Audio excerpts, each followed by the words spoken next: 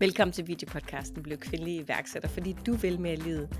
Mit navn det er Majbert Kirkegaard, og i dag der skal jeg tale med Stina Kongsdal Mikkelsen. Stina hun er 34 år gammel og bor i Højbjerg med hendes mand og deres ene barn. Stina har virksomheden datajuggler.dk, hvor hun hjælper produktions- og logistikvirksomheder med at blive datadrevne. Velkommen til, Stina. Tusind tak, fordi du vil tale med mig og lytterne her i dag. Tak. Tak fordi jeg må være med. Altid gerne. det er jo lige præcis jer, det handler om, og det er jer, der inspirerer lytterne øh, med, øh, med jeres iværksætterhistorier, og hvordan I er kommet ind i den branche, som I er i. Og det er jo lidt spændende med dig, fordi at, øh, at du er en meget mandsdomineret verden, og det tænker jeg, at, øh, at kunne være interessant at, øh, at komme ind på her. Øh, lige så meget fordi, at hvis vi skal have mere øh, altså ligestilling i Danmark, så har vi også brug for, for kvinder i, i mandefag, og det er jo ikke fordi, at vi er skræmt væk af det, vel? Vi skal bare inspireres til det. Præcis, præcis. Ja. Der, er, der er plads til os. Nemlig, også nemlig. I de mandsdominerede fag. Ja, og jeg tænker faktisk, det er super vigtigt, men det kan vi komme ind på senere. Lad os, øh, lad os starte med at høre, øh, Stina, altså hvornår startede du din, øh, din virksomhed? Det gjorde jeg altså egentlig februar øh, 2021. Så det er jo egentlig ikke så længe siden. Øh, Nej, det er det ikke. det er et år siden.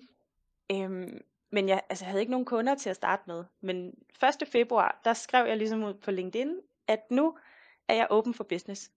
Øhm, nu er jeg simpelthen selvstændig.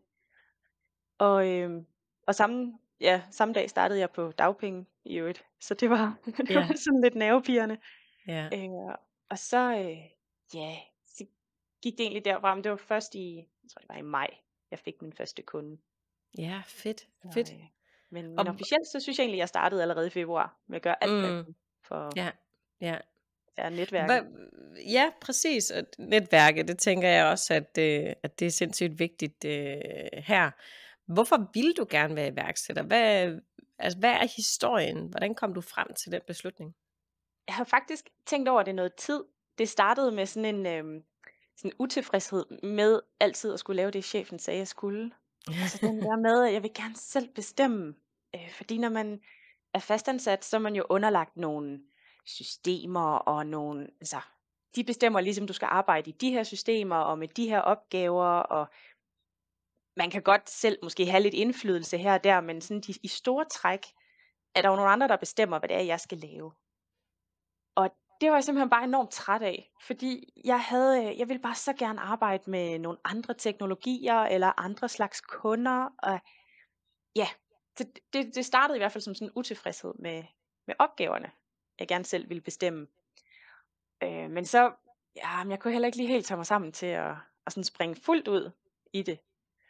Øh, og så øh, vil jeg sige, senere hen, der kom jeg også sådan til at tænke på det her med fleksibilitet da jeg begyndte at tænke på at, øh, at blive iværksætter, eller blive selvstændig, der var jeg gravid. Jeg var mit Mm. første barn, og jamen, ligesom alle mulige andre, at tænke på, ja, det her med at lige pludselig skal hente og bringe, og være på et kontor fra 8 til 16, og altså alting skal sådan gå op i en højere enhed.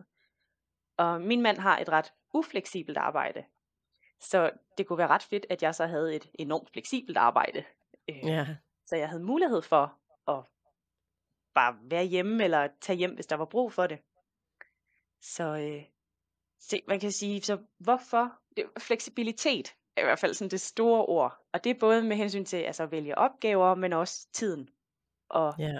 og stedet, hvor jeg arbejder. Altså, jeg, jeg, det kan også være, at jeg bare har været uheldig, men de steder, jeg har været, det forventes, man sidder på kontoret fra 8 til 16. Og hvis man så skal Mm. have lov at gå halv fire, jamen, så er man jo også kommet klokken halv otte. Altså, så man kan flexe lidt, men man skal være der hele tiden. Sådan en, der er sådan en tanke om, at hvis ikke chefen kan se, hvad jeg laver, så laver jeg nok ikke noget. Og øh, det Ja. er jo sindssygt, synes jeg. Altså, det øh, ej, den der sådan overvågning hele tiden. Selvom jeg var færdig med Mm. opgaverne klokken to, så er det jo ikke sådan, at jeg bare kunne gå hjem. Altså, så Nej. må man øh, sidde og øh, se YouTube-videoer fra en ende af, indtil klokken bliver fire, og så kan få lov at tage hjem. Eller, altså, det, Ja. er jo, det, det er så Hvad, utilfredsstillende. hvad er din øh, baggrund, øh, Stina? Hvad lavede du før? Jeg, øh, jeg har egentlig lavet det samme som nu. Øh, Mm. altså business intelligence hedder det, altså at bruge data til at træffe beslutninger. Så jeg har bare siddet øh, internt i virksomheder og hjulpet med at gøre data klar til analyse og også hjulpet med at visualisere data, så man kan bruge det i månedsrapporter eller almindelige dag-til-dag forretning, når man Mm. skal have et overblik og træffe nogle, nogle bedre beslutninger, som ikke bare er baseret på mavefornemmelse. Ja. Øhm, så ja, så det er, og det er egentlig det, jeg har lavet, altså nærmest de sidste 10 år, siden jeg blev færdiguddannet. Og hvad øh, og hvad hedder den uddannelse? om, altså jeg har ikke rigtig uddannelsen til det, eller jo, men altså, jeg har egentlig, jo, ej, det, det er forkert, men det er noget, der sådan er kommet efterfølgende, ikke? Jeg er Ah. egentlig uddannet, øhm, altså jeg er uddannet først diplomingeniør i global ledelse og produktion. Det er meget sådan uh, supply chain management med uh, Mm. og produktionsplanlægning og lageroptimering og sådan noget. Og, øh, og så læste jeg videre og blev civilingeniør i transport og logistik og øh, skrev speciale i matematisk modellering og statistisk programmering. Wow. Det er lidt tørt. det lyder Det lyder tørt. lidt, det lyder lidt tørt. men, du, men du må vel have syntes, det var interessant, tænker jeg. Jeg synes, det var meget interessant. Det er fordi, øhm, men også fordi det var meget sådan praktisk rettet, det jeg læste. Mm. Altså, så, så selvom det lyder sådan tørt og teoretisk, så var det altid sådan, at det var sammen med en virksomhed, og det handlede om at gøre det sådan anvendeligt sådan, i virkeligheden. Men ja. Det, det har jeg altid synes var fedt. Altså, fordi ja. en ting er at kunne en masse fine formler og teori, men det der med at omsætte det til praksis, og folk kan bruge det, det synes jeg er fedt. Og jeg synes, det er fedt at være det bindeled med at få nogen til at bruge det, som ikke nødvendigvis har den forståelse, som jeg har, eller ikke altså har den baggrund, Mm. som jeg har. Det synes jeg er fedt. Øh, så jeg startede med at arbejde med logistikoptimering og, og sådan nogle lager planlægningsopgaver og sådan noget. Og så er det bare bevæget sig hen imod, at så var jeg et sted, hvor nogen skulle have en, øh, en dataansvarlig. Om det blev så mig, og jeg kom på et kursus, og synes det var enormt spændende. Så kom jeg på et kursus mere, og sådan, på den måde sådan bygget ovenpå. Og, Mm. og nu kan jeg se, at det giver bare helt vildt god mening at have en baggrund inden for sådan forretningsoptimering og processer og sådan, og så Ja. bygge den her sådan IT og data ovenpå. Ja. Fordi der er jo, der er jo andre, øh, altså, så der er jo i virkeligheden mange veje til at blive dataingeniør, eller mm. hvad man Mm. skal kalde mig, sådan øh, øh, BI-udvikler. Men, øh, men altså, der, der er mange, der måske kommer med en IT-baggrund, og, og de mangler måske lidt noget forretningsforståelse nogle gange. Øh, Mm. og det her med at se, at det er mennesker, der skal bruge det til hverdag. Så det kan ikke nytte noget, at vi laver nogle systemer, som er alt for komplicerede, eller selvom bedste praksis siger, at vi skal gøre på en måde, jamen hvis ikke det fungerer for dem, der skal bruge det, så må Ja. vi jo afvige lidt og gøre noget. Altså det, jeg er meget sådan pragmatisk, synes jeg, på det Ja. punkt. Fordi jeg har selv prøvet at sidde på den anden side og skulle lave ja, planlægningsopgaver og så videre. Ja, lige præcis. Og, og hvordan er det så præcis, du, du hjælper øh, virksomhederne? Altså, du analyserer nogle ting. Det, er, øh, det kan også være at gøre noget data klar. Jeg kommer ud i en, øh, i en afdeling, hvor øh, i, en, i måske en stor virksomhed, hvor de har et eller andet økonomisystem. Men den her lille afdeling, de har jo ikke adgang til det data, der ligger i økonomisystemet, måske. Men det vil de gerne, for de kunne godt tænke sig at lave nogle analyser af, øh, sammenligne, hvis man nu for eksempel sammenligne de projekter, man kører, øh, hvor, mange, øh, hvor meget gik vi over budget, for eksempel, eller altså sådan nogle Mm. øh, helt lavpraktiske ting, så skal man jo trække nogle realiserede tal ud fra økonomisystemet, og så hjælper jeg sådan helt teknisk med at sætte den integration op, og sige, hvordan kan vi hive de data ud i øh, for eksempel Excel, eller et eller andet andet værktøj, så vi kan lave nogle grafer. Helt Ja. lavpraktisk. Vi kan lave nogle grafer, der sammenligner to tal, så vi ser, hvordan går det.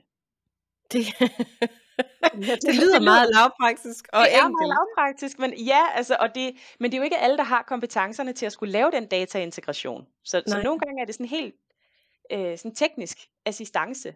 At sige, Mm. jamen, så laver jeg et lille program, eller jeg øh, øh, kan programmere øh, lidt her, eller gøre noget andet der, der gør, at data bliver tilgængelig. Det kan Ja. også være, at data skal kombineres fra mange forskellige kilder. Nu sagde jeg økonomisystem, men så er der nogen, der har noget andet data liggende i et andet system, eller nogen har skrevet noget i nogle Excel-ark, der også lige skal med i den her analyse. Så at få kombineret det et sted, Ja. så man øh, har det fulde overblik, i stedet for at skal åbne fire eller ti forskellige programmer. for Ja. at få overblikket over, hvordan går det egentlig i forretningen eller i afdelingen. Og, øh, og, og lad os lige prøve at tale om den her med, med den sådan meget mandsdominerende, fordi det må jeg gå ud fra, at du også nærmest har set på studierne og op igennem dit liv og i netværket og så videre. Det er mænd, du primært netværker med. Hvad er, altså kender du statistikkerne? Øh, ej, jeg, jeg tror ikke lige de nyeste statistikker kender jeg ikke, men jeg kan jo godt se det, når jeg er ude, ja, altså til Mm. netværk og også de jobs, jeg har haft. Altså, så har jeg jo været ansat i softwareafdelinger, og jeg har været... Øh, det første job, jeg fik efter universitetet, ja, der var jeg den eneste kvinde i softwareafdelingen, og jeg var også den eneste under 40. Altså, mm. det, var, det var, altså, der var både noget alder og noget køn. Ja, Øhm, jeg har, øh, jeg har heldigvis aldrig oplevet nogen problemer med det. Altså, der har jeg ikke... Øh, nej, fordi det er jo så mit næste spørgsmål. Hvordan er det at, at, at komme ud og skal sælge sig selv? For nu er du jo så blevet selvstændig i en mandsdomineret verden, så du skal ud og sælge dig selv øh, og, og dine kompetencer. Hvordan bliver du taget imod? jeg, jeg synes kun, jeg har op, altså, øh, positive ting. Det vil jeg sige. Øh, jeg har meget fokus på det faglige. Altså når jeg kommer. Det handler meget om det, jeg kan. Og øh, det tænker jeg, det gør det jo altid som Mm, selvstændig. Og sådan. klart. Men, men når man ligesom holder fokus på det, og siger, hvad er det, jeg kan bidrage med, så, så er min fornemmelse egentlig, at der, der bliver sådan set lidt, ikke set bort fra, men det er, sådan, altså, det er bare ikke vigtigt, at jeg er kvinde, eller om jeg er yngre, eller det er egentlig ikke. Nej, det, det har jeg heldigvis ikke oplevet nogen Det er problemer med. fantastisk. Så, så, øh, så der er jo et lidt budskab til kvinderne, der er inden for, øh, for den her branche, eller er i mindst domineret branche, om at, øh, at øh, hvis du har brug for mere fleksibilitet i virkeligheden i, i din hverdag, ikke også? Øh, jeg har lyst til at spørge dig, Stina. I har et barn. Er der en plan om at skulle have flere? Ja, Og hvad er, og hvad er tankerne omkring, nu er du selvstændig og skal have virksomheden op at køre, og så skal afbryde det med en barsel? Faktisk så, det er ikke så længe siden, øh, jeg sådan spurgte rundt i mit netværk. Nu er jeg begyndt at få et netværk også af andre selvstændige. Og simpelthen spørge, hvad, hvad gjorde I? Altså fordi Mm. jeg har ikke prøvet at være selvstændig, mens jeg havde barn. Og, og sådan så, eller, eller mens jeg skulle have barn. Ja. Øhm, og jeg synes, at spørge, hvad gør I? Og, og prøve at få noget inspiration. Og øh, det jeg kan høre er også, det kan være svært at lægge arbejdet helt væk. Altså nu Mm. sidst var jeg så privilegeret, jeg havde seks måneders betalt barsel. Ja. Øh, og det kan jo ikke, altså det har man jo ikke som selvstændig, medmindre man har sparet pengene op, eller et eller andet. Man skal i hvert fald selv komme med de penge. Altså, der er jo, der er jo heldigvis, øh, altså, øh, nu har vi jo fået, øh, hvad den hedder, vores, vores barsels øh, kasse, var jeg lige ved at sige, igen. Så vi har jo mulighed for at spare nogle penge op ved at betale til en forsikring. Ja, Ja. og det er rigtigt. Øh, men altså jeg har, jeg har ladet mig inspirere af, at man måske kan arbejde lidt mindre og få noget hjælp nogle timer om dagen, og at øh, min mand kunne have noget, noget mere fleksibilitet, at vi måske kunne lave sådan en, han har barsel to dage om ugen, og Mm. så har altså sådan, du ved, så kunne jeg arbejde, når han så er hjemme, og jeg, og, så jeg har ikke sådan nogle konkrete tanker endnu, men hvert fald nogle idéer om, at jeg, jeg tror også, jeg vil have svært ved at bare lægge det helt væk. Så måske Mm. sådan de første par måneder, eller et eller andet, men til lige at, øh, og, øh, at lægge det helt væk. Men jeg tror, det bliver sådan noget on and off. Øh, Ja. prøver at arbejde lidt, og, Det er jo det der, man, man, man ved aldrig, hvad det er. Altså, hvad er det for en graviditet, man får for det første? Hvad er Mm. det for en, hvordan går fødslen? Øh, altså, øh, kommer man til at føde for tidligt, så er der jo nærmest no, no chance, at du er nødt til at skal være indlagt med det her barn. Eller øh, altså, er der komplik- komplikationer i forbindelse med fødslen? Hvad er det for et barn, man får? Øh, har det kolik? Altså, alle de her udfordringer, som man kan risikere at stå i i forbindelse med at, at få et barn. Det kan man jo selvfølgelig ikke altid lige tage højde for, man må da tage udgangspunkt i, at alt går øh, præcis, som det nu engang skal gå, så man kan planlægge ud for det. Ja. Helt sikkert, helt sikkert, men det er rigtigt, det ved man ikke. Øh, så det eneste, man kan gøre, det er at, at planlægge lidt, og så afvige fra det, når det ikke holder alligevel. Så Ja. jeg synes jeg generelt livet er som selvstændig måske. Altså du ved, jeg laver en plan, og så afviger jeg fra den, når det er Ja. nødvendigt. ja, Øh, ja. men jeg har da også tænkt på sådan noget med, om jeg kunne nu udbetaler jeg løn til mig selv i min virksomhed, så kunne man udbetale lidt mindre i løn i en periode, og på den måde måske lige spare noget op mm. til at kunne udbetale lidt under en eventuel barsel. Og det, ja. Ja. Jeg ved ikke. Så, ja, jeg, har, jeg, har desværre, jeg har desværre ikke lige den helt gyldne. Hvis, du må spørge mig igen om, øh, om et par år, når jeg så øh, har prøvet det, så skal jeg nok sige, hvad jeg gjorde. Mm. Det her, ja, det var bare ja. tanker og inspiration, jeg havde fået fra andre. Det er sådan, ja. det, jeg har hørt andre ja, gør. fedt. Og jeg tænker også bare, at det er vejen frem, at, øh, at, at vi må spare med andre øh, selvstændige, som har stået i situationen, og høre, hvad, hvad gjorde de egentlig, og hvad var udfordringerne, hvad skulle man forberede sig på, hvad kunne man have gjort anderledes, eller bedre, eller hvad det nu kunne være. Hvad er dine tanker omkring øh, din, din virksomhed, altså dine din, øh, ambitioner omkring fremtiden for din virksomhed? Øh, min ambition er egentlig at kunne prøve at arbejde fra et andet land. Ja. Jeg, jeg har ikke noget øh, sådan specifikt land, øh, sådan jeg lige tænker på, men øh, det er jo også en del af den fleksibilitet, jeg efterlyste. Det var at kunne arbejde andre steder fra. Så at kunne... Lige nu der går det sådan okay med at arbejde hjemme, og jeg har mit eget kontor inde i, øh, inde i byen. Men jeg kunne godt tænke mig, at det sådan var endnu mere fleksibelt, for jeg kan godt fornemme, at der stadig er kunder, der gerne vil have, at jeg kommer derud fysisk og sidder. Mm. Om ikke andet, så i hvert fald bare lidt en gang imellem. Ja. Og der kunne jeg godt tænke mig at blive bedre til at, at skole mine kunder i, at det er ikke nødvendigt. Altså, vi kan, vi kan arbejde sammen på en anden måde, og vi har teknologien til, at det kan, det kan sagtens fungere remote. Så jeg måske kunne tage det skridt og sige, jamen, så øh, de vil aldrig opdage, at jeg sidder øh, to uger i sommerhus i Nordjylland. Der kunne vi jo starte. Det behøvede ikke at være udlandet. men, men bare det der med, at man sådan kan sidde hvor som helst, eller mm. Nu bor mine forældre bor langt væk, så kan jeg bare tage over til dem, og stadig lige få arbejdet lidt, eller altså sådan, øhm, det er sådan i hvert fald, det er min næste ambition, det er at kunne endnu mere fleksibel på, hvor jeg arbejder fra. Mm. Så vi, øhm, fordi vi har talt om, at vi vil gerne ud og rejse i længere tid, og det ville ja. være nemmere, hvis i hvert fald en af os kunne tjene penge undervejs. Bare lidt. Yeah. så kunne man jo rejse, øh, rejse i længere tid, eller mm. ja. Ja, og det er øh, en total, total drøm, altså at man bare kunne få lov enten at hive et år ud af kalenderen og bo i et helt andet land, eller altså komme ud og opleve noget, fordi det udvikler os som mennesker. Præcis, og, og gøre noget andet. Altså jeg kan også mærke, selvom jeg nu er selvstændig og har meget fleksibilitet, man bliver stadig lullet ind i sådan en øh, sådan autopilot, kalder jeg det. Altså hver dag kører jo bare efter sådan en eller anden, og det er jo også nu, vores søn er lige under to år, så det er jo også er ikke så gammel endnu, men det hele det kører efter nogle øh, faste rutiner og rytmer. Man står op på samme tid og afleverer og henter. Og, ja. ja, og jeg kan bare godt mærke det der med, at man skal lige sådan rystes lidt, altså, rystes lidt ud af det der. Og ja. sådan øh, prøve noget helt andet. Og det kunne mm. være, at det så hjælper at tage ja, et halvt år eller et helt år et andet sted hen. Eller bo i en autocamper i USA. Eller, det, ja. ved det ikke.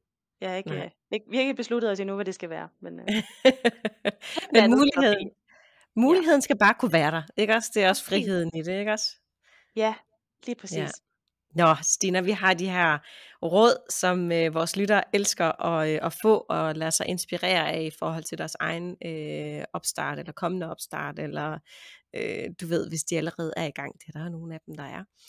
Øh, og så lade sig inspirere af, hvad har andre gjort. Hvad vil være dit første råd til vores kære lytter? Det jeg sådan har tænkt meget på, det er sådan, hvorfor jeg blev, øh, jeg blev selvstændig. Det synes jeg, har brugt ja. rigtig meget. Også nu har jeg lige haft en periode med sådan, hvor det har været ret travlt.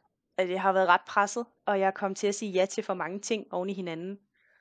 Og, øhm, og der er også andre ting, der bare er rigtig, rigtig øh, nederen nogle gange ved at være selvstændig. Men det der med at huske, hvorfor, hvorfor bliver jeg selvstændig? Nu, for mit vedkommende er det fleksibilitet. Det behøver det ikke at være. Det kan jo være hvad som helst, der driver en. Men det der med sådan lige at huske på, jeg gør det her, fordi jeg gerne vil ja, have fleksibilitet, eller fordi jeg gerne vil tjene flere penge, eller fordi jeg bare gerne vil lave det her, jeg brænder for, eller hvad det måtte være. Så synes jeg, det er lidt nemmere at komme igennem de der hårde perioder. Mm. Øhm, fordi øh, der er også, især i starten, hvor det sådan var lidt sløvt med, om jeg overhovedet fik nogle kunder, og jeg blev tilbudt et fast job, og jeg var lige ved at sige ja. Det var så, men det var så fristende.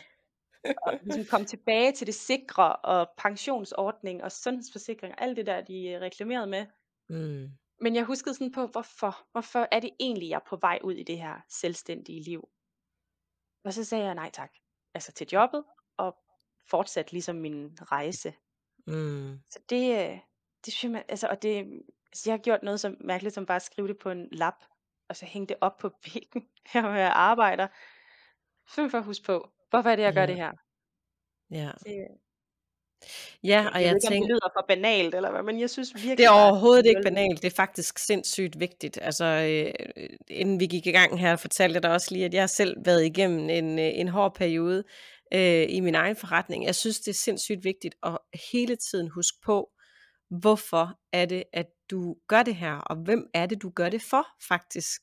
Øh, fordi der kommer hårde perioder. Der kommer perioder, hvor at man bare har lyst til at smide håndklædet i ringen, eller hvor det er sindssygt fristende med en pensionsordning og øh, feriepenge og, og en fast løn, der går ind. Du skal ikke ud og kæmpe for noget, altså, og så alligevel... Du, men, men du har, så har du et arbejde, du har en forpligtelse, du lever en anden strøm. Altså du arbejder for Mm. en anden, der, der har en, en, en lederstilling, øh, og som drømmer om at blive større, eller øh, har en virksomhed, som drømmer om at blive større, og det er jo derfor, at vedkommende gerne vil ansætte dig. Så husk på, hvorfor det er, at, at lige præcis du øh, startede, og hvem er det, øh, du gør det for, og så fortsæt. Altså, Ja, ja. Ja, så det er overhovedet ikke banalt. Det er faktisk sindssygt vigtigt. Det, det, ja, og det, ja, det synes jeg jo også. Altså, der er alle mulige øh, andre sådan praktiske ting, man kan gøre, men ja, det der, hvorfor, ja, ja, ja, ja, ja. ja. Har du, kender du Simon Sinek? Ja, Ja, jeg har set nogle øh, videoer med ham, og ja, ja, ja, ja. Og hvis det er så, man i hvert fald gerne vil inspireres til, øh, hvordan man dykker ind i sit hvorfor, faktisk, øh, så er Simon Sinek helt klart guruen, man går til. Øh, han har skrevet den her bog, Start With Why. Øh, altså, den kan jeg kun anbefale, at man læser. Super, super god. Rigtig dygtig menneske. Hvad vil være dit andet råd? mit andet råd, det, øh, det jeg kom frem til, det var at, at regne på det. Fordi, da, og det, jeg skal nok øh, forklare, det er fordi, da jeg begyndte at tale om, eller tænke på det her med at, øh, at blive selvstændig, så øh, faldt jeg i samme fælde, som jeg kan høre andre gør, med at det kan jeg jo ikke, fordi jeg har et hus, og jeg har en bil, og har en familie, og det er altså et reelt kreditlån. Og sådan noget. Altså, det kan slet ikke lade sig gøre det her. Og, øh, fordi der skal, det skal jo betales stadigvæk. Øhm, så kunne det være, at det var nemmere, at man var helt alene og bare kunne øh, bo øh, på et lille, lille værelse et eller andet sted, men det, det kan vi ikke. Men jeg vil sige, i stedet for bare at stoppe der, og så tro, man altså have de her begrænsninger inde i hovedet, så regn på det. Altså du ved, hvad Mm. kræver det? Hvor, hvor mange, altså, hvad skal vi have ind for, at det kan lade sig gøre, eller skal der spares nogle penge op, inden jeg kaster mig ud i det? Jamen, så kan man måske gøre det først, hvis det giver en ro. Øhm, det, det synes jeg er et rigtig godt råd, for jeg synes, der var mange, jeg det er sådan begyndt at følge nogle selvstændige, der er også nogen, der siger, bare spring ud i det, bare gør det. Men jeg synes også, at man må anerkende, at, at man har nogle forpligtelser, og det er okay at sige, jamen, altså, vi som familie vil stadig gerne bo i det her hus, så lad os lige prøve at, og så i stedet regne på, hvordan kan det lade sig gøre? Ikke nødvendigvis om det kan lade sig gøre, men hvad skal der til for, at det kan lade sig gøre? Hvis jeg nu ikke får kunder de første tre måneder, de første seks måneder, eller år, hvor længe kan jeg gå uden at, at have en indtægt?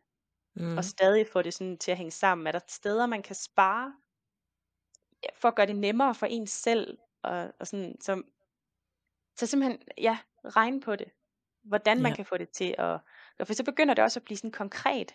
I stedet for at det er sådan en drøm om, jeg vil gerne være selvstændig, men det kan jeg jo ikke, fordi jeg Mhm. har øh, et hus. Så regne på, fordi jeg tror, at mange vil komme frem til, at det, det kan man måske godt, hvis man omlægger nogle ting, eller som sagt spare nogle penge op først.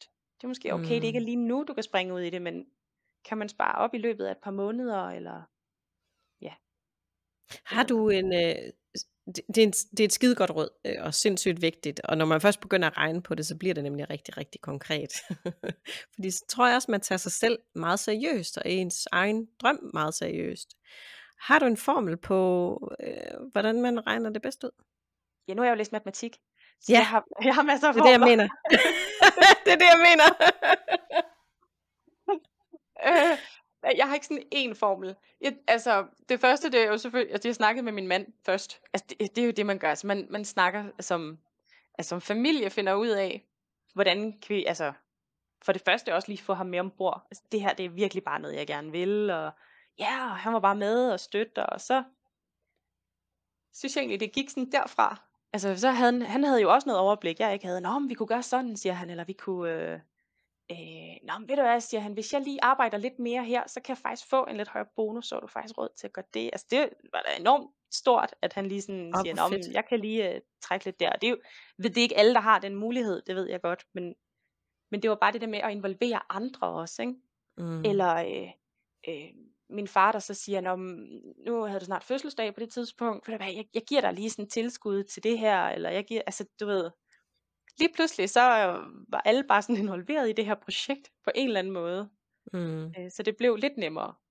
Øh, Ja. Så der var ikke sådan en måde at regne det på, andet end at det endte med sådan helt kedeligt at trække alle udgifter ud i et Excel-ark, og øh, så se dem igennem, se hvad betaler vi egentlig for de Mm. forskellige ting, og hvad kan vi skære væk, og ja, Ja, så basically er det jo privatbudgettet, du hiver ud for at se, ja, hvor er alle vores udgifter, hvad er det i virkeligheden, og det er jo måske meget sundt at gøre lige meget, altså lige meget, hvor langt man er. ja det, det, kan, det, det tror jeg, det, det er sikkert mange, der kan godt af, ligegyldigt om man skal være selvstændig eller ej, men, Ja.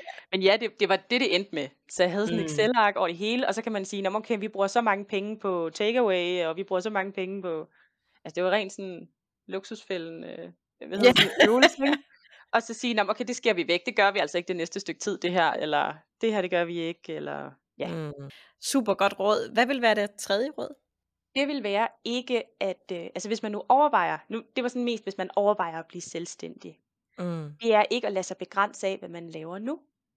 Øh, fordi jeg har også talt med nogen, der siger, at jeg kan ikke blive selvstændig, fordi jeg er jo øh, pædagog. Eller altså et eller andet. Ikke? De har sådan en idé om, at de skal jo møde nede i børnehaven, eller hvor de nu arbejder. Og øh, der tænker jeg, hvis man nu har, hvis man virkelig, virkelig gerne vil være selvstændig af en eller anden årsag, så, så skal man ikke lade sig begrænse af, hvad man laver lige nu, eller hvordan man arbejder lige nu. Øh, men prøv at opsøge altså noget inspiration til, at man, man kan bruge sin erfaring og sin baggrund på en anden måde. Hvis det vigtigste det er at blive selvstændig og få noget fleksibilitet, eller øh, mere i løn, eller hvad det er, man gerne vil, så tænker jeg, at der er muligheder. Også hvis man er pædagog. At det kan man også bruge på en anden måde, tænker jeg. Mm. Ikke- Jeg har ikke lige alle svarene. Men, men det var mere sådan, at man ikke lader sig sådan begrænse. Mm. Øh, ja, det kommer an på, hvad der er Ja. vigtigt. Det er jo heller ikke, fordi omvendt er det hvis man synes, det er rigtig fedt bare at møde på et kontor hver dag, 8 Ja. til 16, så, så skal man jo gøre det. Altså, det Ja. er der jo også, øh, måske heldigvis, nogen, der synes er rigtig fedt. Altså, det er jo nødvendigt. Det er jo, Ja. altså, Øh, så, det er, ikke- så det er heller ikke, fordi jeg siger, at alle bare skal gøre det, men det er bare, hvis man virkelig gerne vil, så, så tænker jeg, så, så må man finde ud af, hvordan man kan få det til at ske. Nu er der et spørgsmål, som optager mig rigtig meget, øh, Stina, det her det er med, hvordan er det, vi øger væksten af kvindeligt iværksætteri? Øh, vi er oppe på 27 procent, det er 1 procent øh, mere, end det har været de sidste, jeg ved ikke hvor mange år, 10 år eller sådan noget. Øh, så det går jo alt, alt for langsomt. Øh, vi vil gerne, øh, gerne over de der tre, famøse 33 procent, så vi rent faktisk har øh, ligeværd, ligestilling, om man vil. Øh, hvordan, hvad, hvad tænker du, der skal til? Nu kan jo kun, altså det jeg synes, jeg manglede, det var helt klart øh, rollemodeller. Det tænker jeg, det, det taler man også meget om i, i andre sammenhænge. Øh, det var egentlig først, da jeg selv blev selvstændig, og begyndte, så begyndte jeg at få et netværk af andre selvstændige, også kvinder. Øh, og en masse, som jeg øh, var meget inspireret af, begyndte at følge på Instagram og LinkedIn og alt muligt. Men jeg synes ikke, jeg havde set dem før. Altså det var egentlig, så det var jo egentlig først, da jeg havde taget beslutningen, at jeg kom, jeg blev en del af det her netværk. Mm. Så jeg tænker, jeg kunne godt have tænkt mig, at det havde været synligt noget før.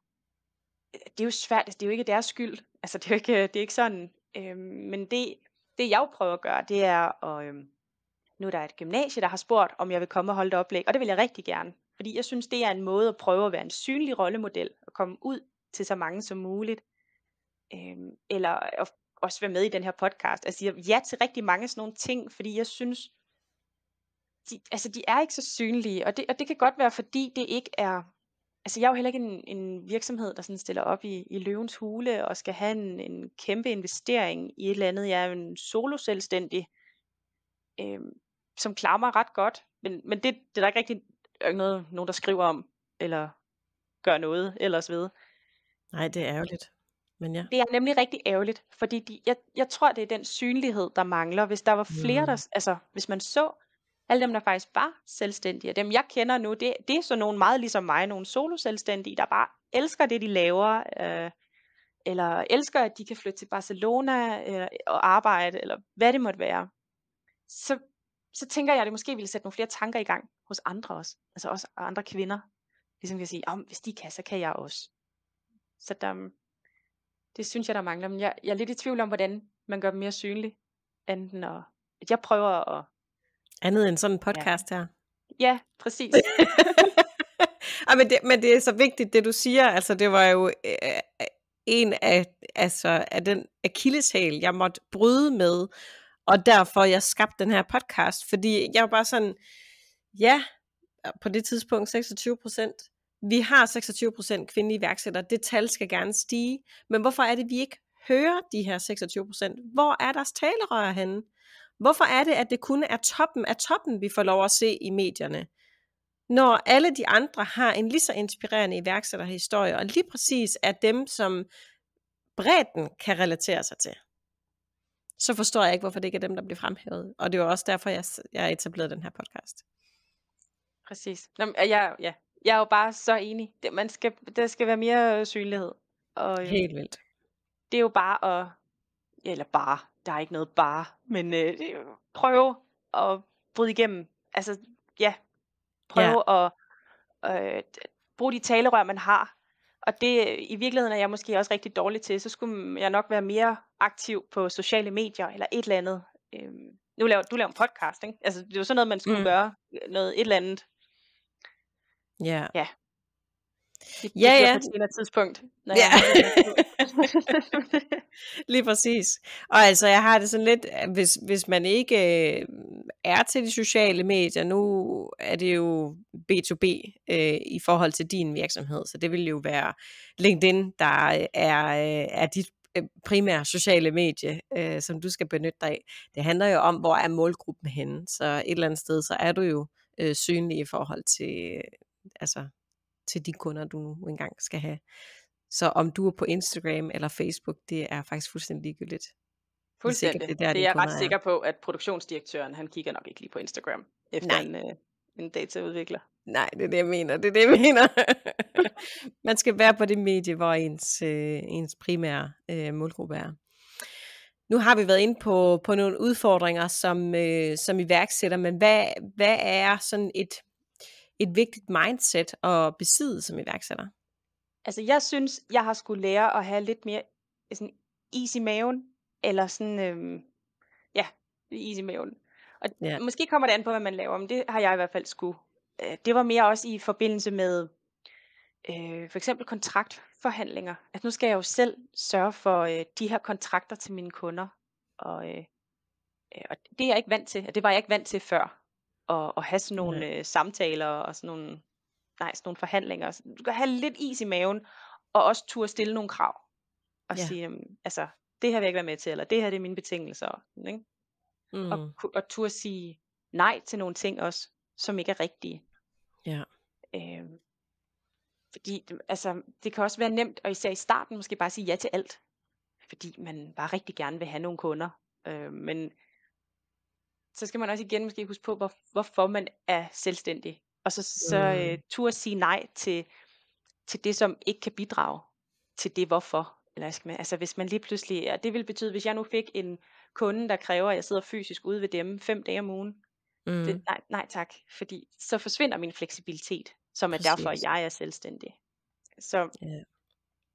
Jeg synes helt klart det der med ja, is i maven og ikke være bange for at lære noget nyt. Jeg synes, det at være selvstændig, der laver man hele tiden noget nyt.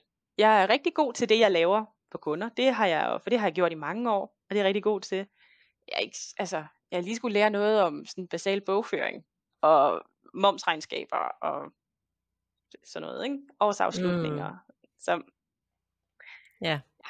helt klart været sådan den økonomiske del af at drive en virksomhed, jeg lige skulle sådan finde ud Ja. af. Ja, og det her med kontrakter og det juridiske. og sådan. Ja. Jeg ved ikke, om det er sådan, jo, det er måske lidt et mindset. Så det er i hvert fald, altså ikke er at være bange for at lære noget nyt, og, og så lidt is i maven en gang imellem. Ja. Men man, er behøver ikke at, mindset. men man behøver ikke at være sådan en hård hund. Altså det er ikke sådan, at man behøver at, Mm. øh, det synes jeg måske også er vigtigt at sige. Selvom jeg siger is i maven, så behøver man ikke bare at være sådan hardcore, øh, følelseskold. Øh, Mm.